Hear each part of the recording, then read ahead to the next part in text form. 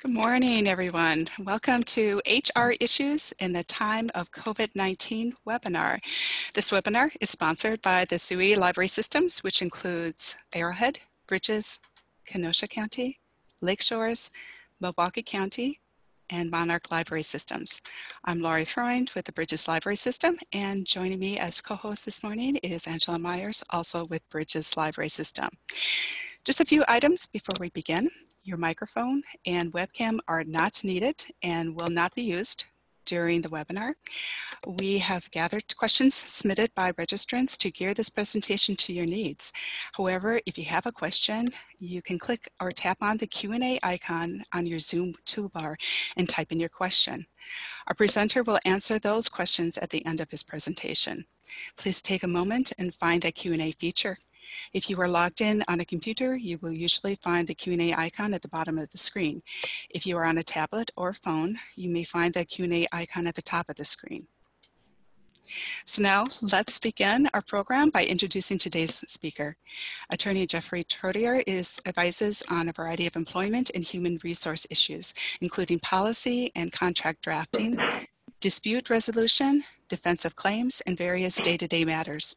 He has spoken at various library workshops and conferences in Wisconsin.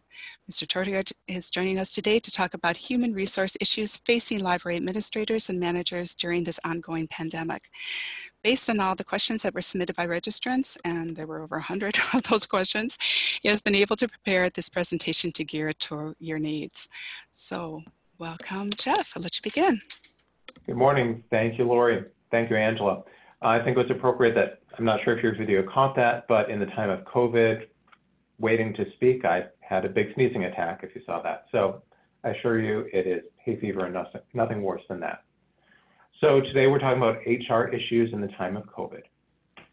Um, today's agenda, we're going to address mask requirements, uh, paid leave, remote work, best practices for return to work, testing considerations, and how to address hiring during a pandemic, furlough, and layoff issues. As Lori said, we've got a lot of great questions. So I've streamlined content so we have more question time and less time of me just repeating what you likely already are familiar with. Um, I do ask that if you have additional questions, we can hold those to the end. You can type them into the question and answer bar, and we will address them as we have time at the end. Um, and with that, I did want to just move right into the mask requirements. This is an ever-changing area of the law. And quite frankly, just about everything involving the pandemic has been ever-changing.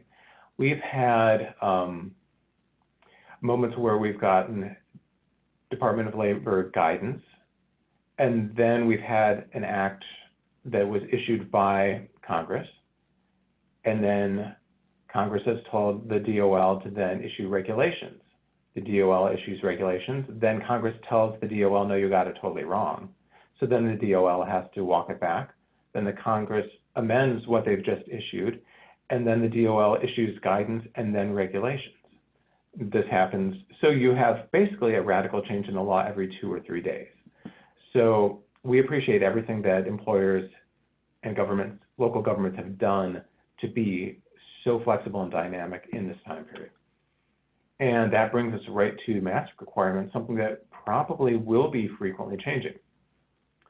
As most people know, last week we received Executive Order 84 from Governor Evers, which also included Emergency Order number one, which is our title for this slide, EMO number one, which that is the emergency order which has required masks or face coverings as it's referred to in the EMO.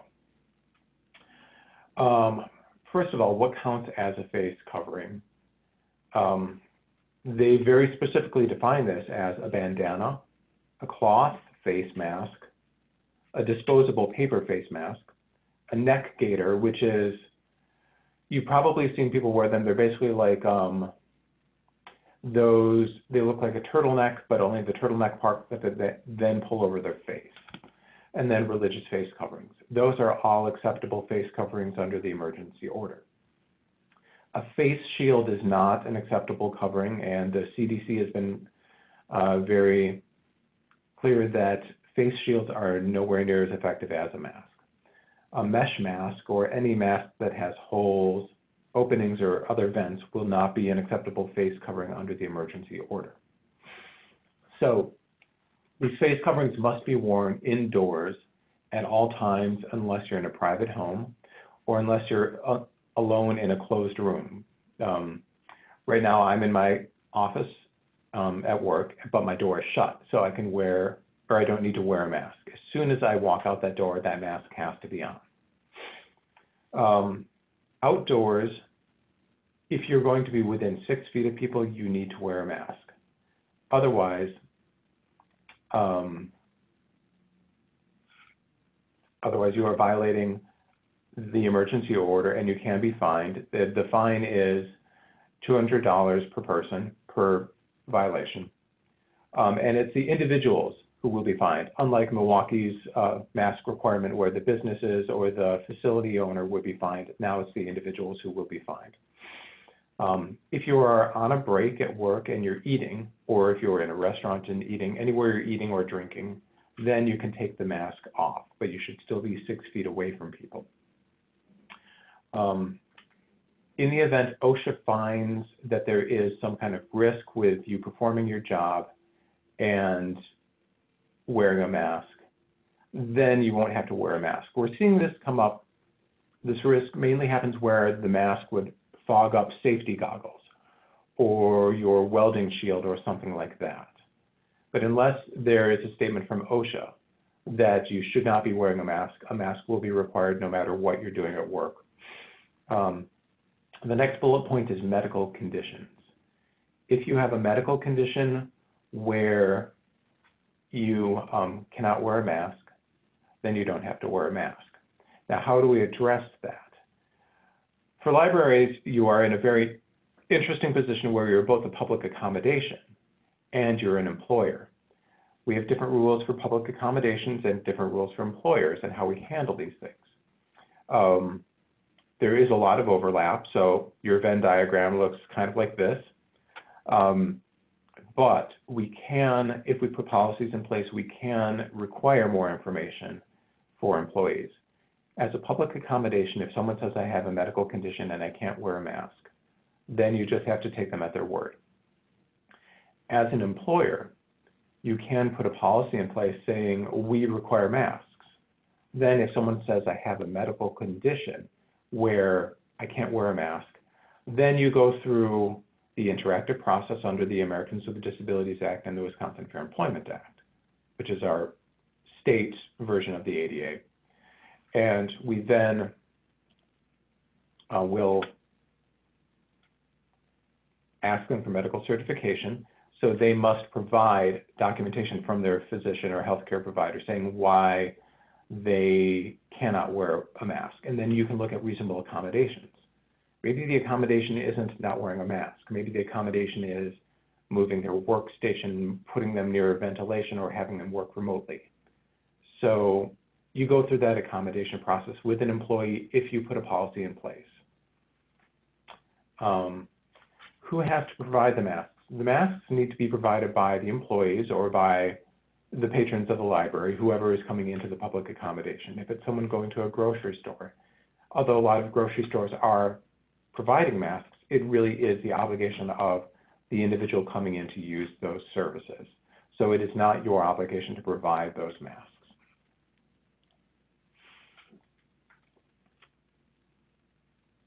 Um, speaking of dynamic and changing a lot, as I said, this emergency order went into effect this last Saturday, so this is really our first work week dealing with it.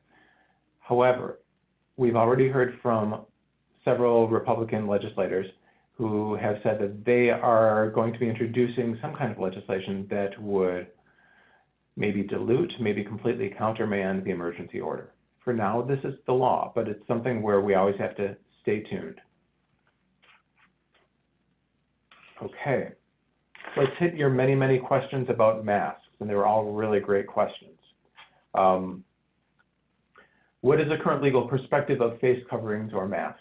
I think I addressed that. Um, and if- if you have additional questions after the end of this, we will go through that. Can we require people to wear masks or only request it? It's required for now. It is an emergency order from the governor. It does have the force of law until it's countermanded by something else. So if someone comes to your facility and says, I'm coming in without a mask, I don't have a medical reason for that. I'm just coming in. You can tell them, no, you must stay out. Um, that is the law.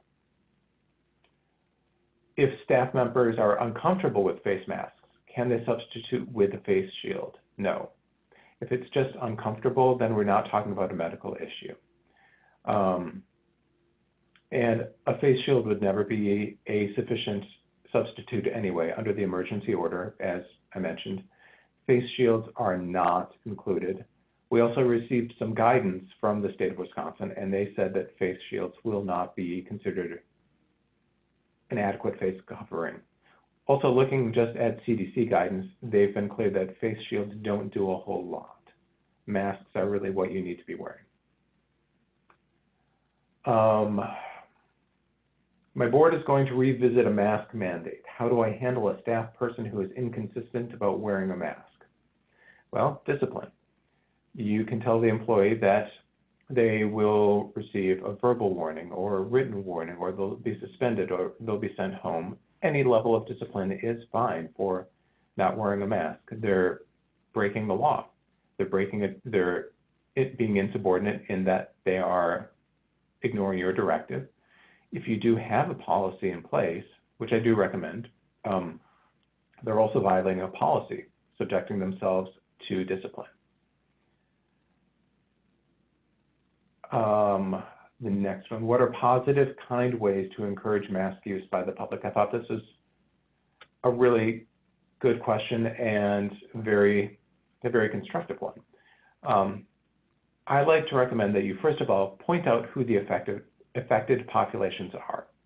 Yes, we are all affected by the pandemic, but there are certain populations that are at greater risk. Those populations are always shifting as well. It's likely that some of those populations are heavier users of in-person library services, and you can point that out. You can say that these, uh, for example, I think that people in the 70 to 90 bracket or the 80 to 90 bracket are the second highest population. They may be, or more, most at risk, they may be more likely to be using your in-service or in-person facility services. So point that out. Say, this is who's coming here. This is who's at risk. We need to protect them.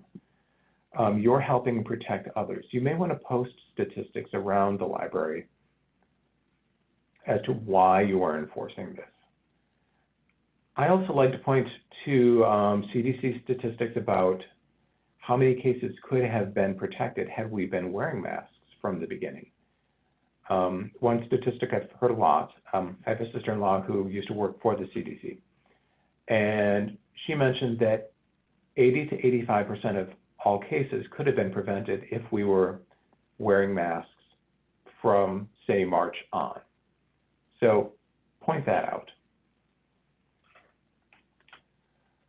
Without a masking mandate, what is the best way to impose a strongly to encourage you to wear masks recommendation? Well, the great thing is you can regulate your own space. The library is your space. Library directors control that space. Yes, they are, they do answer to their board to an extent, but just like requiring shoes, shirts, things like that, you can require people to wear a mask.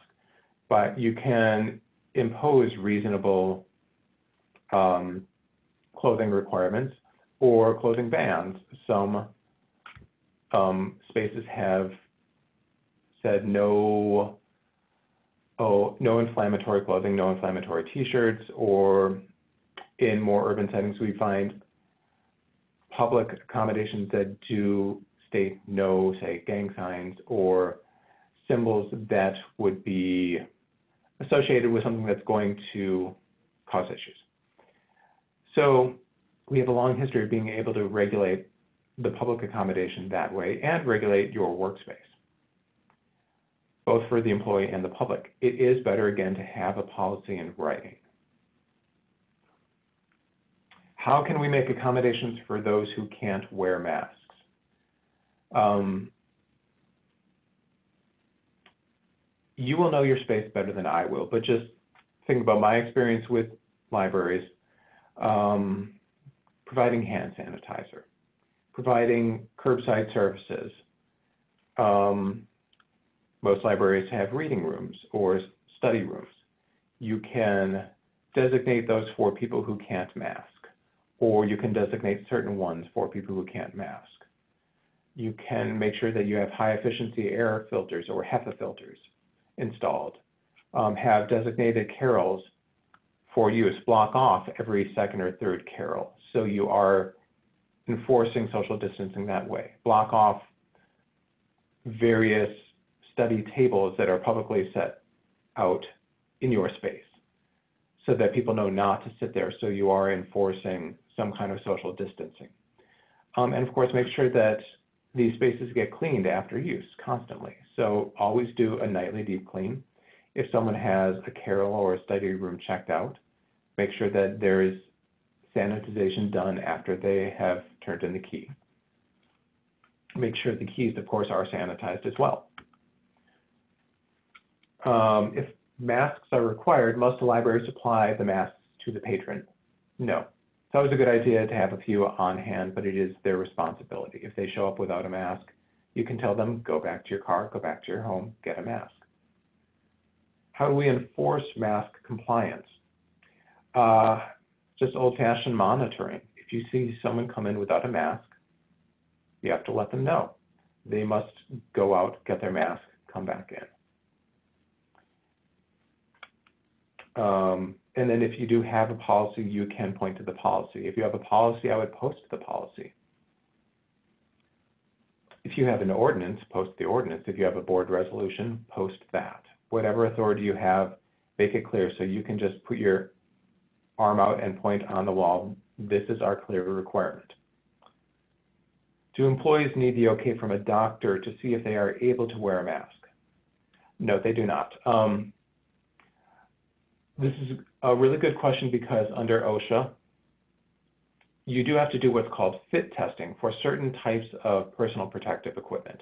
That usually is for respirators, things where the seal is very important for to make sure that it's effective.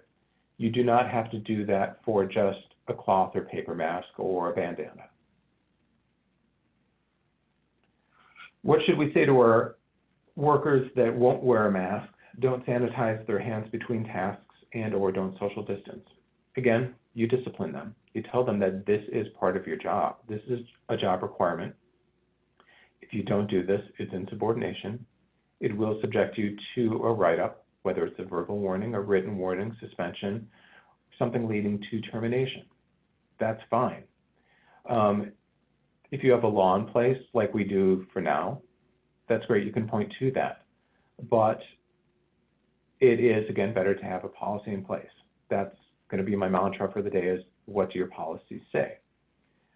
Um, even if the law only goes so far, your policies can go farther. You can be more restrictive in your policies. That's fine unless the law prohibits that. Right now, we have um, a fairly restrictive emergency order. If that gets walked back by either the governor's office or by the legislature, unless the legislature says you can't prohibit something, you can still be more restrictive. That's fine. We've had a lot of questions about what leave is available under the Families First Coronavirus Response Act, which you'll hear me refer to as the FFCRA. There are two leave laws actually available under the FFCRA. The Employee Paid Sick Leave Act, which is the EPSLA, EPSLA, yes, I always have to check my words, my letters on that. And then the um, FMLA Expansion Act. So we will talk about the EPSLA first.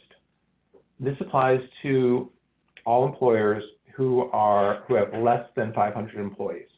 There's something called the small business exemption. Basically, that states that you may be exempt if it's too onerous and too expensive. That is unlikely to apply to a library system to the extent a library system is going to be considered a joint employer with the municipality or municipalities that it's attached to. So it's very unlikely that you would be able to make use of the small business exemption for this leave. Because regardless of the logic here, courts generally take the viewpoint that anything that's attached to government, state, local, or federal, has deep pockets, has the ability to fund these things. So even if you have a very limited budget given to you by that government, they will still look at this as flowing through to the underlying government body. And that's why we call you an integrated or a joint employer with that government body. The EPS LA provides leave for an employee's COVID-19 related illness. So if they are symptomatic, if they have a positive test result, if they are under medically ordered quarantine, if they're awaiting test results, if that test was ordered by a doctor, or if they're under a government isolation order. Um, an employee who is taking leave for their own illness can get up to 10 days of pay, full pay capped at $511 per day. If it's a part-time employee, they still are eligible. It just will be prorated. And this is available to any employee who has worked for you for 30 days or more.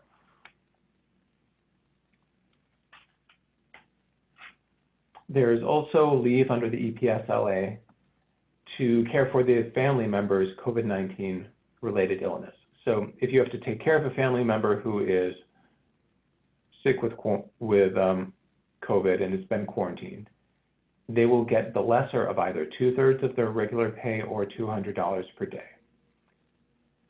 For either of these leaves, the employee has to be unable to telework or remotely work. So if they can work remotely, then they don't get the leave. They should just be working remotely.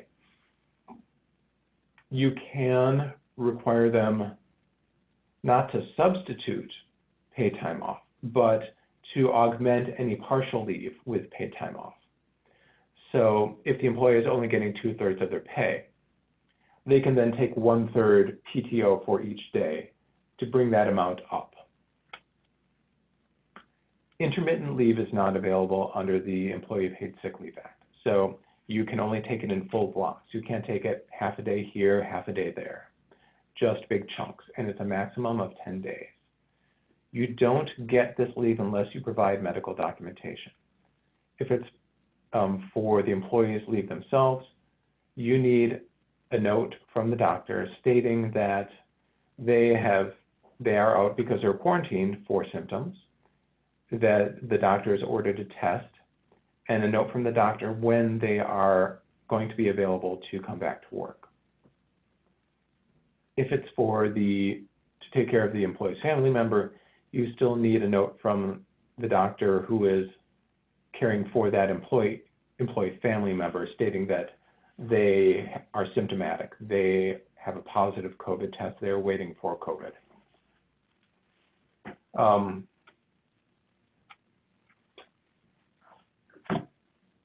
and if they want this paid leave, they must give you this documentation.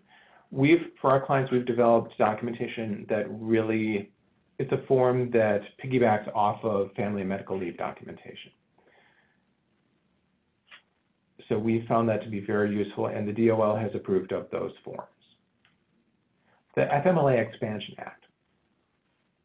This is what we refer to as the Child Care Act. So for employees who can't come to work because their child's school is closed, their child's daycare is closed during the summer, if their normal activities or day camp or other camp has been closed because of COVID, and the parent has to stay home, this leave is available as well.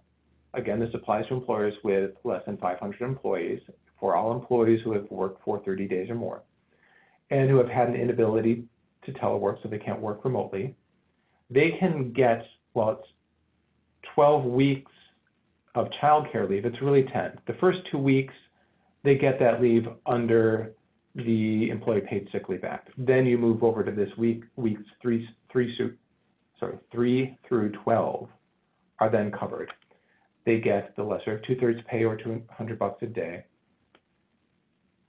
If there is another caregiver available, whether it's a spouse or an adult sibling or a grandparent, then they are not eligible for this leave. They can substitute PTO to bring that two-thirds up to full pay, and you can require that as well. They can do this intermittently, and you can require documentation of this. So certify that there is no school. Uh, for part-time leave, it will, or part-time employees, it will be prorated as well. I think I've talked about the verification. Leave questions. Okay, here are your gr really great questions. Uh, first question I hopefully did cover. Um, whether it was briefly or not, I leave that up to your judgment. Can FMLA work for villages with less than 50 employees? Um,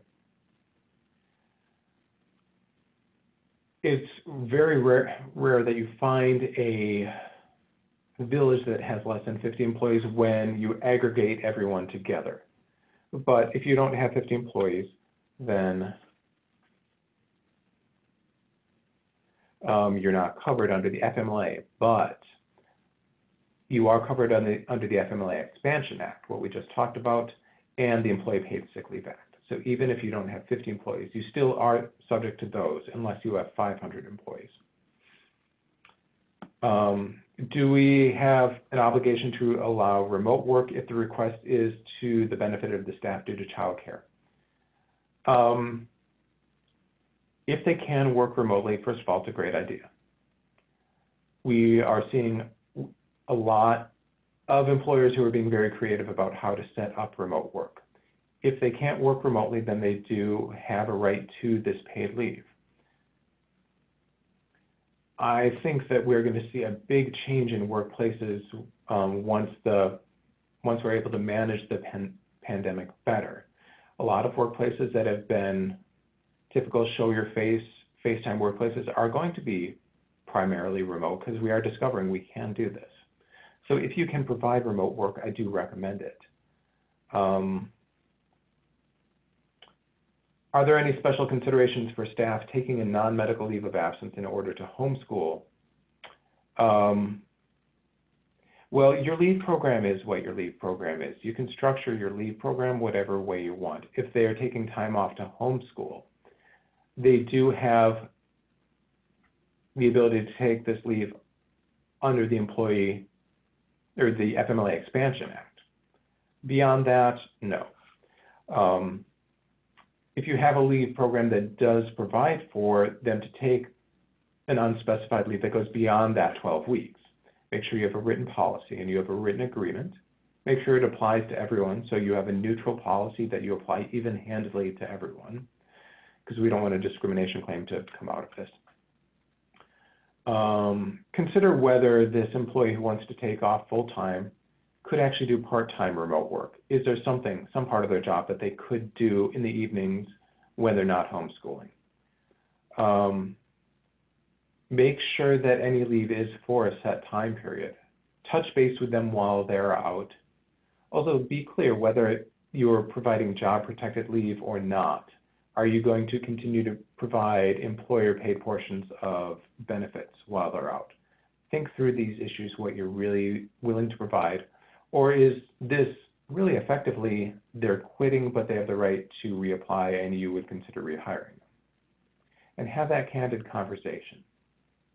Whatever you do, please memorialize this in writing and make sure you apply it evenly to everyone.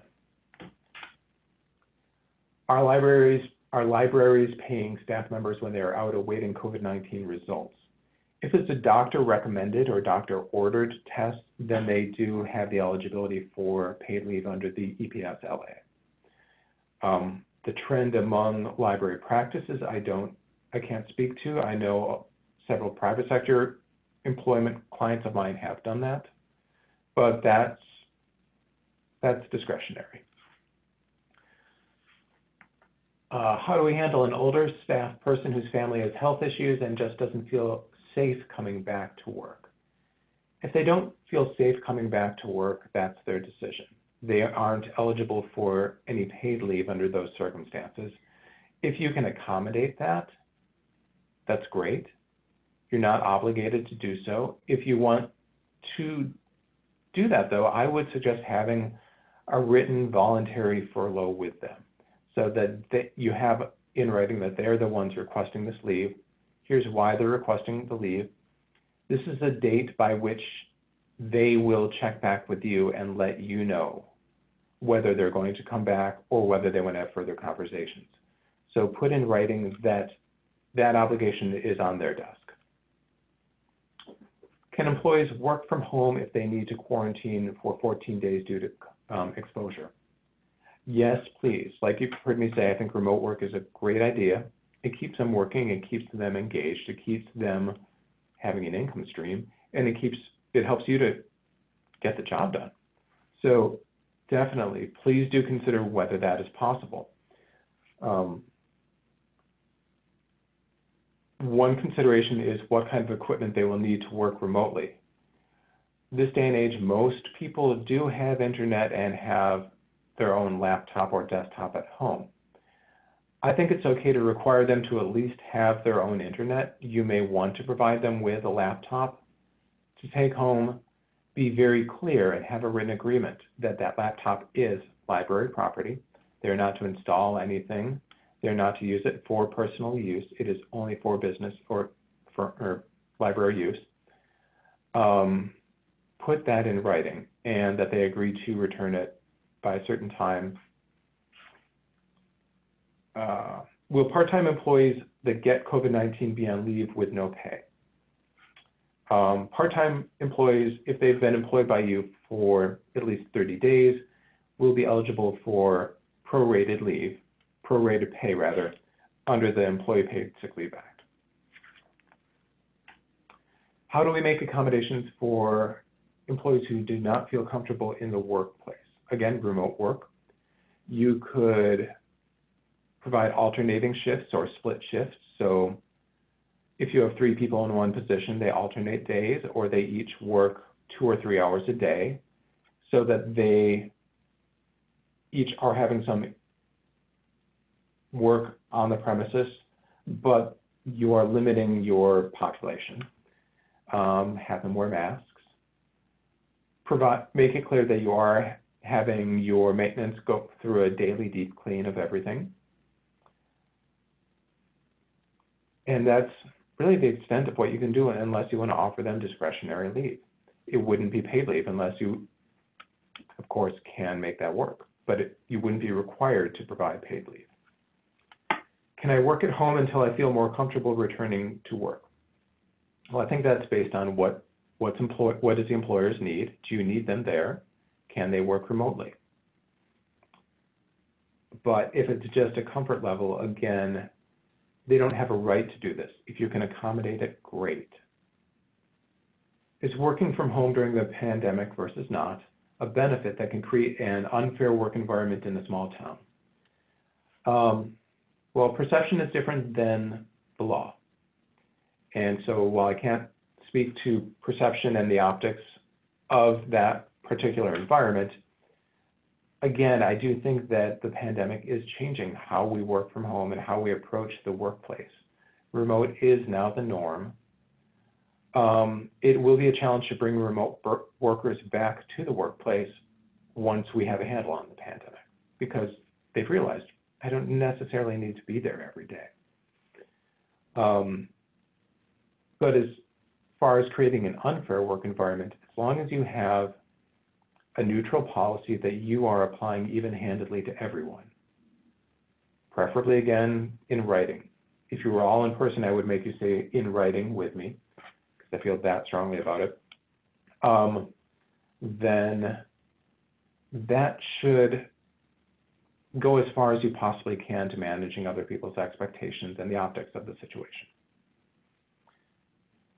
If the library is open for limited hours, is it still okay to have staff telework some hours or must all work be in the library? Again, if you can work remotely, you definitely should. They can definitely telework as long as you have enough people there in person to handle what needs to be done. What you also could consider is a second shift for things like shelving or repair or check-in of books. Does that really need to happen with your full staff? Can maybe one or two pages or circulation employees handle that in the evening, um, spread out from each other? So think about creative scheduling. Okay, should we have a telecommute agreement with employees who are still working from home? Yes. Yes, please have a have an agreement, have it in writing, at least have a policy. Um, have them agree that equipment is only for work. Have them agree that they will be limited to certain hours. Have them agree that policies still apply and that the workday is only while they are working. When you work remotely, it's great. You log in, you do something, then maybe you do the dishes, you throw the laundry in, you mow the lawn, then you go back to work. Maybe you make lunch, then you go back to work. There are these gaps throughout the day. If you have a non-exempt, so an hourly employee, require them to log all of their time so that all of their breaks are accounted for. If you have an outside payroll provider like Paylocity, Paychex, ADP, a lot of them will provide software that will help you do this very easily or an app on their phone. How long can we allow employees to work remotely before it becomes an issue? Um, I'm not sure what becomes an issue really means, except for creating an expectation that they should continue to work remotely. We are four or five months into the pandemic at this point. I think the expectation has already been established. So when it's time to bring them back, you will just have to be clear that yes, you will be able to do certain things remotely, but now that danger is lifted, now that we are managing this, we have an expectation that you are back at work. And you'll just have to be very firm about that. They will ask why. And there are certain things that are much more effective face to face. And you will just have to point to those things, whether it's training your colleagues, learning new skills, um, or just the physical tasks that have to occur. Or spelling the other workers who have been working in place so that the burden isn't on them all the time. Um, what do you do if you believe staff working from home do not have enough work to match their 40-hour work week? Again, I require them to complete logs. So they're saying, I did this from this time. If you think they are maybe working a little bit slower to fill that time, assign them more tasks. Send them email saying, I expect this to be done. Give them a due date. So you are manage, managing them a little bit more hands-on, but that's okay. How do you work with staff about fairness of telework, who can do it and who can't? I focus on the job description and business need and saying you need to be there in person to accomplish these things. Other employees don't need to do that. So that this is just based on what we need to get done. And tell them that those are the job duties that they signed up for and they just will have to understand there is no way for them to work remotely. Um, I would also consider, are these exempt or non-exempt employees who are working remotely? Because employees who are non-exempt, when they are working on site, that is also easier for them to be logging in and taking breaks and having that monitored, as opposed to someone who has a little bit more latitude because they are an exempt professional. Uh, provision of equipment by the library for remote access. Um, I think I addressed that. Regarding internet, you can require them to have their own internet that is satisfactory. You could also consider, do you want to subsidize their internet? Can I require, I think I just answered that one. Easy time sheet software for those working remotely. I don't have that information, but I would check with your payroll provider. They should be able to point you in the direction for that. Returning to work amid COVID-19. Okay, the workplace. Let's consider the arrangement of your workplace and social distancing. We talked a little bit about that with um, if you have carrels, making certain carrels not available, so you are de facto social distancing, making certain common work tables not available. Uh, flow of personnel and scheduling. You could, again, create a second shift for those things where people don't need to be facing with the public, things like shelving, book repair, check-in. Um, have employees split shifts, so they're only working half a shift at work in the second half of the shift they're working remotely. And do your best so that the crossover between employees is consistent. The same people are working in the same area at the same time. That way you just have, for lack of a better term, less cross-contamination. You have less, you'll have to do less work if you have to go through contact tracing because they will have only worked with a team of two or three people really think through business as usual. How are you going to have visitors check in? What protocols will you have for deliveries? Do deliveries, do you have to have a face-to-face drop off and sign off, or can they just drop off the delivery and then you can bring it in, same with shipments? Do meetings really have to be in place? How are you going to audit um, social distancing? It is a good idea for a supervisor to do walkthroughs and make sure that employees are not um, sitting too close together, getting too close. Um, a lot of employers are just turning off their vending machines um, and shutting down their common break areas. That may not be feasible. What you can do instead is leave copious amounts of sanitizer around um, and sanitizing spray and wipes so if you use the vending machine, put a note that they should be wiping it down afterwards. Um, common sense would say they should wipe it down before using it as well. We are a food meeting culture. Um, you should see the kind of ridiculous bakery that is deposited around my office when we aren't in a pandemic. But we've stopped allowing people to bring any food in. There are no bringing in of the donuts. We don't have lunch meetings anymore because any kind of shared food is a contamination option, or not option, opportunity. Uh, smoking, again, smoking already needs to be at least 25 feet away from any um, entrance to any workplace. So make sure that you are monitoring this. OSHA guidance on preparing workplaces for COVID-19. OSHA has what we call the general duty clause. Employers must provide their employees with a workplace free from recognized hazards likely to cause death or serious physical harm. So we meet this by, again, installing HEPA filters, high efficiency air filters, increase the ventilation rates, install physical barriers, and then again, alternating days and shifts. The things we've already talked about, those are also recommended by OSHA. If an infected employee is present within 48 hours of a positive test, have a deep clean done um, before you get to this point, make sure that you've contacted a vendor who can do that for you. If more than seven days have passed, cleaning and disinfection is unnecessary. Uh, make sure you do not forget electronics, phones, computers, any kind of um, input point, uh, time clocks, all should be dis disinfected. Have cleaning trainings and policies. Have mask training have training because you will have more cleaning chemicals around. Have training on the proper storage and use of those. Cleaning chemicals usually require that you also make available what are called material safety data sheets or MSDSs.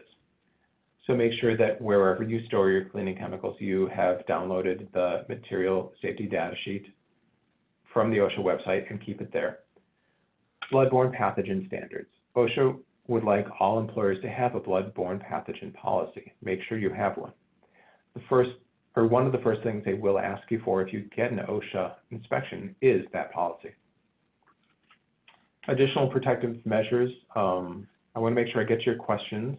So I believe that we've pretty much talked about this. Um, do limit elevator office and conference room capacity. Um, close your shared break spaces. Stagger work times. Um, also close certain bathroom stalls. That will create further distance. And don't allow carpooling to any events. Make sure that people drive themselves separately. These are a little bit more creative here, but I think they're a good idea. If you have a manual time clock, have one person clock employees in and out. Normally we say never do this because only employees should be clocking themselves in and out. Have someone who is the time clock monitor, and they're the ones who are touching the cards in the machine. No shared equipment or phones. Prop doors open.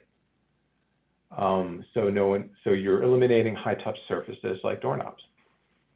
If you can put up transparent barriers in customer service and collaborative areas, please do. Make sure you have a workplace contract, contact tracing plan in place before you have to actually use it. Testing. Testing must be accurate and reliable, and also job-related and business and consistent with business necessity. These are the requirements by the CDC and by the EEOC pursuant to the Americans with Disabilities Act. Key considerations would be uniformity. Who is being tested? What are your testing procedures? Um, what's the applicable threshold? What happens if there's a positive result? What do you do if someone refuses to be tested? Um, you send them home until they get tested. Um, how are you going to document this? So who is going to be tested? anyone who is symptomatic should be tested. Anyone whose temperature is showing um, over 100 degrees should be tested. You should engage an outside testing agency who can do this for you. There are a lot of them out there. Um, it's big business right now. If there is a positive result, they should be quarantined for 14 days. You should require another negative test before they can return to work documentation options, you want to require results of any testing. This requires the employees to actually sign a waiver releasing those testing results to you. Insist on this. They can't say, oh, it's private information. Oh, it's HIPAA protected. It's probably not HIPAA protected. And yes, while it's private, they have privacy rights, but that they have to give those up in exchange for continued employment. So it's not an absolute right to privacy. You can't demand it, but they can't demand to come back to work. It's a trade-off. Um, testing questions. What's the best practice when an employee tests positive for COVID, especially if they have contact with all other staff and public? Have your contact tracing plan in place. Know everyone who an employee would have contact with. Have lists. Have lists of who someone's going to work with. Um, let the people who they've worked with know that an employee has tested positive. Do not tell them who, because that is private information that is protected by the ADA. You can't tell them who. Chances are they will find out anyway just through the grapevine, but that information cannot come from the employer. Um, you'll have to shut down the library or the area where they've worked until you've gone through a deep clean and offer testing to everyone they've worked with. Um, you do not, oh, moving on to the next question. If the library is listed as a site where a positive person has visited, what is the recommended protocol?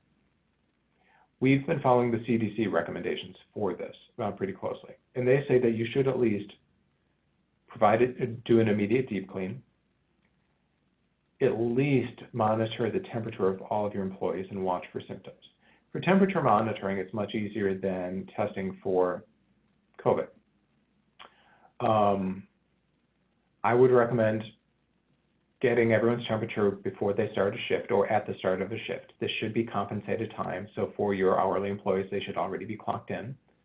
Take their temperature, keep a log of this. You are permitted to keep a log. but keep that log confidential. Um,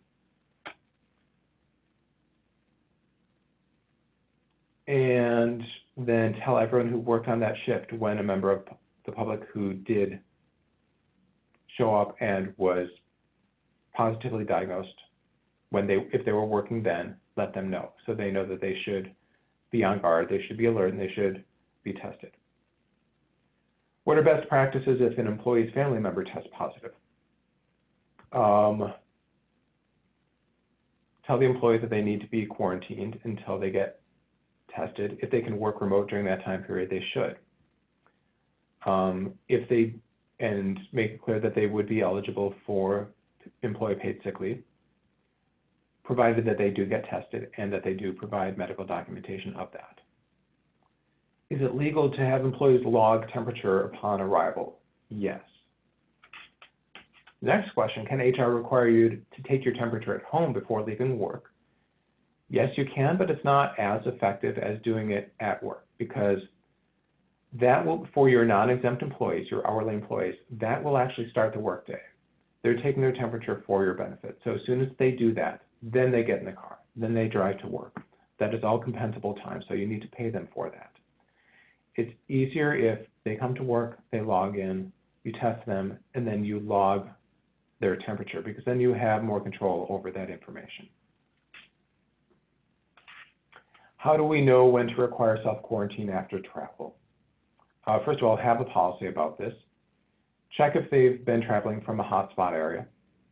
What was the purpose for the travel? Would it be high, con high contact? Like if they were visiting a sick family member or going to a funeral, something where there will be a lot of people, or a wedding. Um, is it intra or interstate. If it's intrastate, I wouldn't get as worried about it um, unless they're saying that they were going to something where it was an event where there wasn't a lot of social distancing.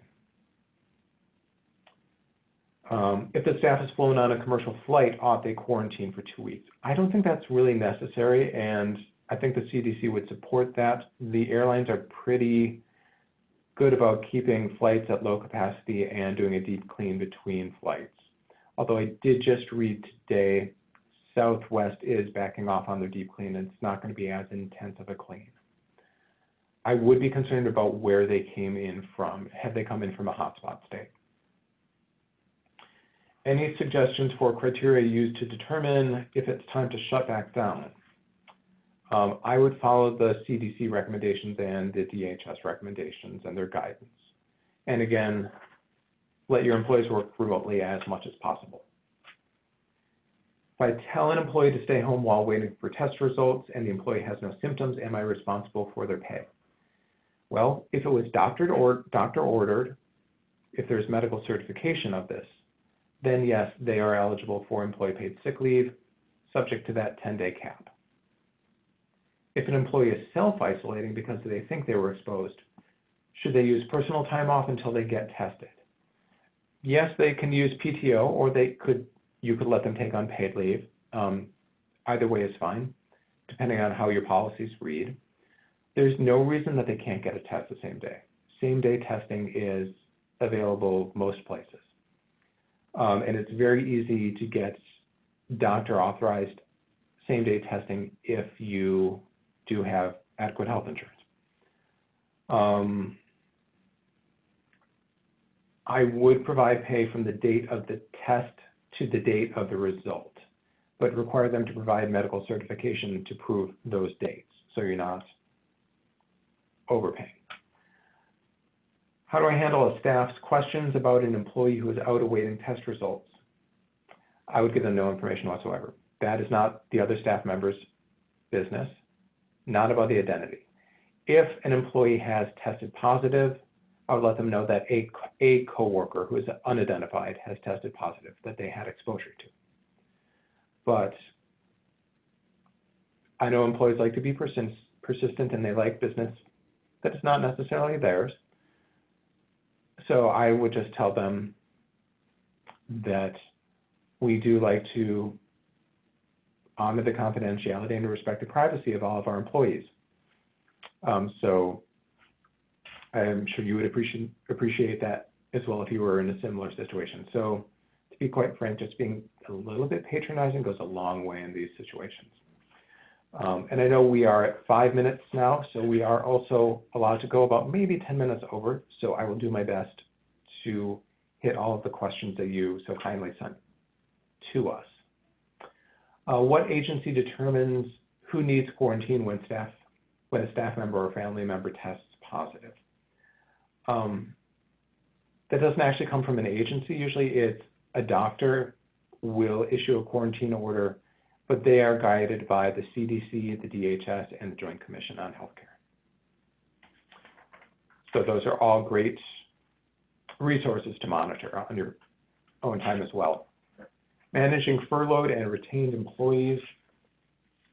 Um, I think you would rather I hit your questions here, so I'm just going to say, make sure you have contact with your furloughed employees while they're out so you can keep them engaged because you want them to come back. Check in with them from time to time. Update them with library news so they do feel involved.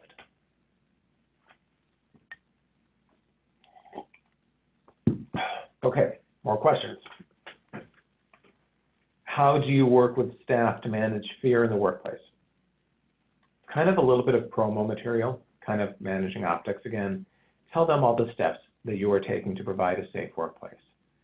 Um, talk about masking re requirements, that if you wear a mask, this is how it does affect transmission. And if everyone wears a mask, that greatly increases protection for everyone. Um, what can I say to reassure my staff when my boards are forcing us to be open? Well, make it clear again all the steps you're taking. If remote work is available, let them work, know that there is going to be remote work. If you are able to stagger their shifts, make sure that's an option. Um, if you can have some of them work night shifts when the public isn't coming in and you can adjust work hours, I would do that. when is it appropriate to walk back COVID-related accommodations for staff, such as accommodating them to keep off the desk? I have to be frank, it's not going to be anytime soon. We're talking about a second wave hitting, um, especially in the Midwest. So um, it's not going to be appropriate anytime soon. I would wait for CDC guidance on this. How do we appropriately address employees believing that they are working harder than others since work is still done remotely? I would be clear to, that those who are working remotely are doing, are working full days and are being compensated fairly and that you are monitoring productivity and time spent for everyone. But the nature of the people who are working in, in person, the nature of their position requires that, and you can't apologize for that that is their job duty. And that, so there's just no two ways around that other than just letting them know you trust all of your employees to be working hard, whether they're remote or not. Is it okay to require three staff members to complete time cards while other two, the other two do not as they are at risk and will be paid full wages? Um, it depends if they're exempt or non-exempt. All non-exempt employees must provide an accounting of how they spend their day. Now, I've done this and done that, but I've been working from this time to that time. They must clock in, they must clock out. That is state and federal law. So this will depend on whether they are non-exempt or exempt. They need to be treated the same. So not different based on medical condition. How do we handle vacation days for staff who worked from home because they basically didn't take any vacation? and what do we do about carryover of vacation? This will depend if you have, say, a use it or lose it policy. Check in with your employees and monitor them. Make sure that they actually are working. Get daily reports of what they're done and require them that they must follow the PTO policy. So if they want to take a half day off, that they are taking PTO for that. If you want them to actually work not just eight hours in a day, but eight hours between nine and five, make it clear that it must occur during, during those time periods. So they're not just working from six to 10, then taking 10 to six off, and then working six till 10 and getting their eight hours in that way. If you need it work done during a certain time, that is the job. Uh, we paid our part-time staff. I'm sorry, I skipped a slide.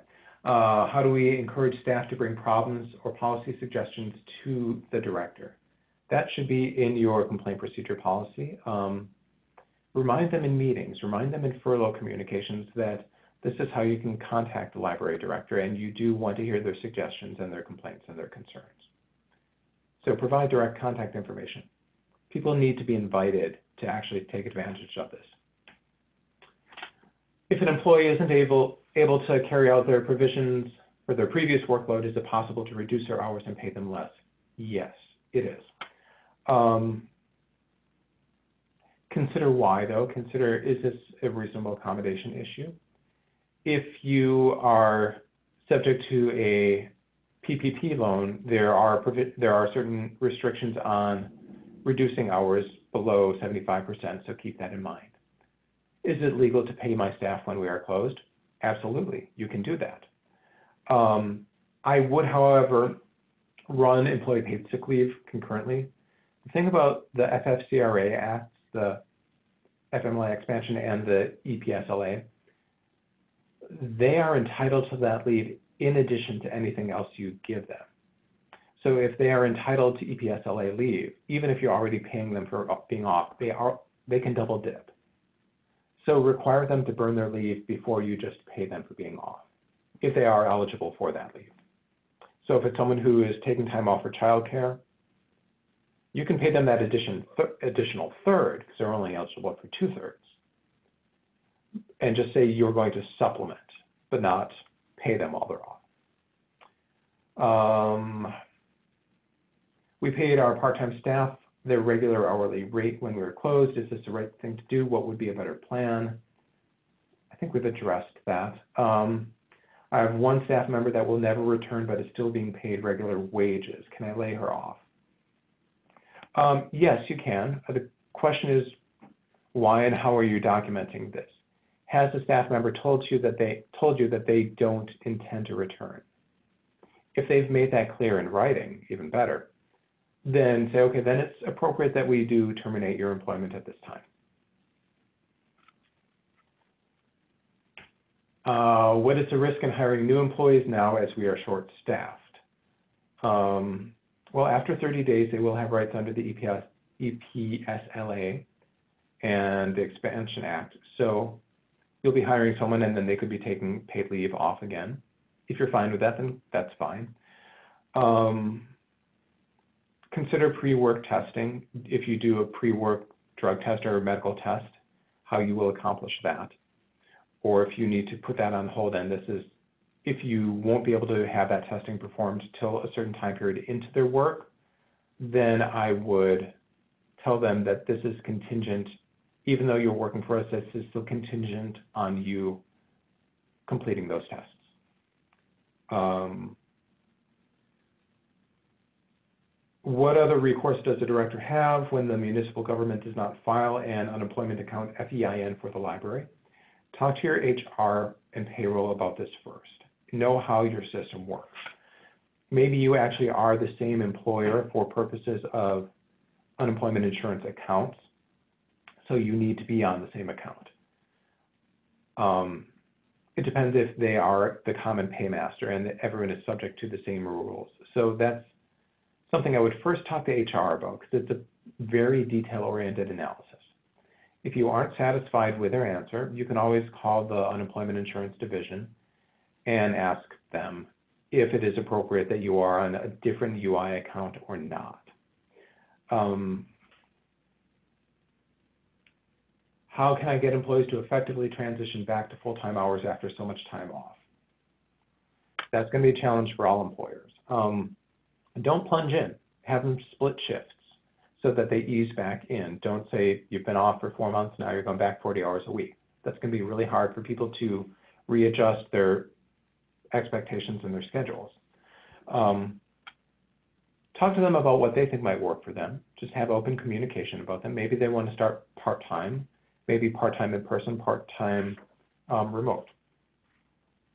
My final question was, what resources can I access as questions come up. Here's my shameless plug. Um, Von Briesen my law firm does provide very rapid client alerts. You can sign up for them on this website, vonbriesen.com forward slash legal dash news.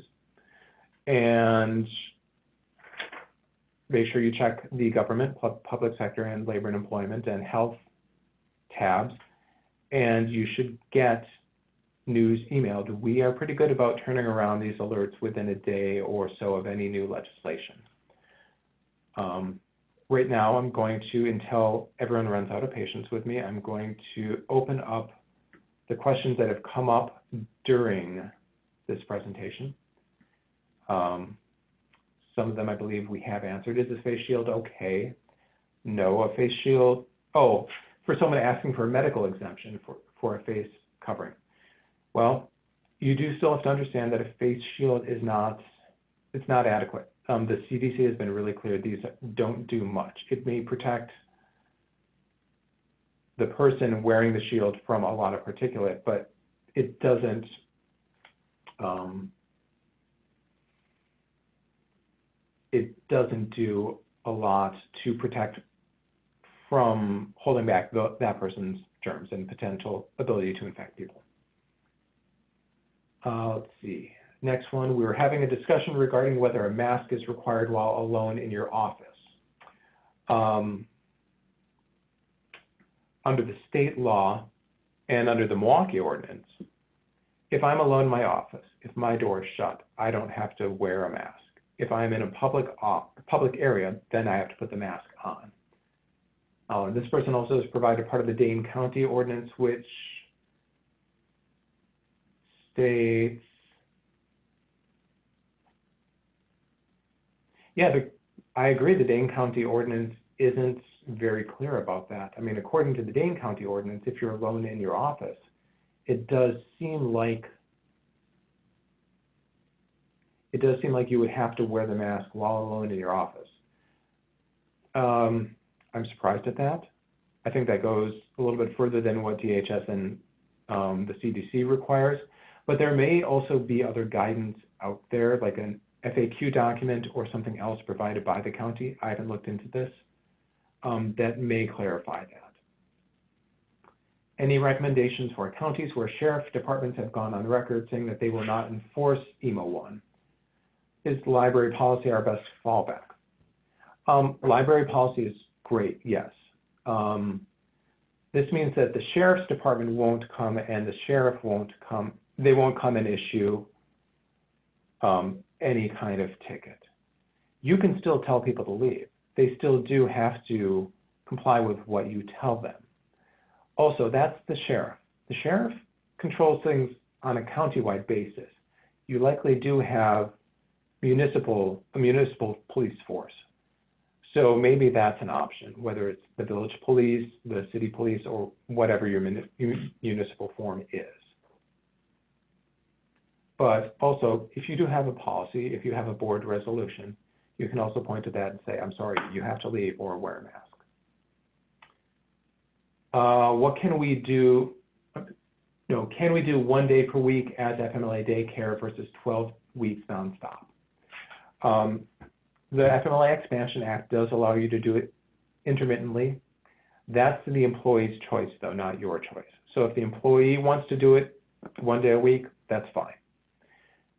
You can't tell them that they are only eligible for one day a week. They are entitled to take the full week. But it is worth a discussion.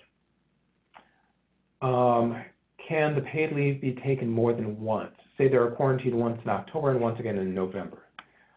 Um, paid leave can be taken to a maximum of 10 days under the Employee Paid Sick Leave Act. How they break it up uh, doesn't matter. So if they use four days for that first leave and six days for the next, they're entitled to that total of 10 days.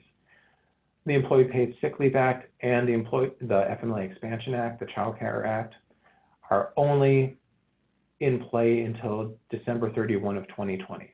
Whether that will be extended or not, who knows? But at this point, um, they will only have that available till December 31. For part-time employees who have COVID to receive the prorated pay, is there an amount of hours they need to have worked per week to receive this pay? What about age? High school students who also use us for very part-time hours.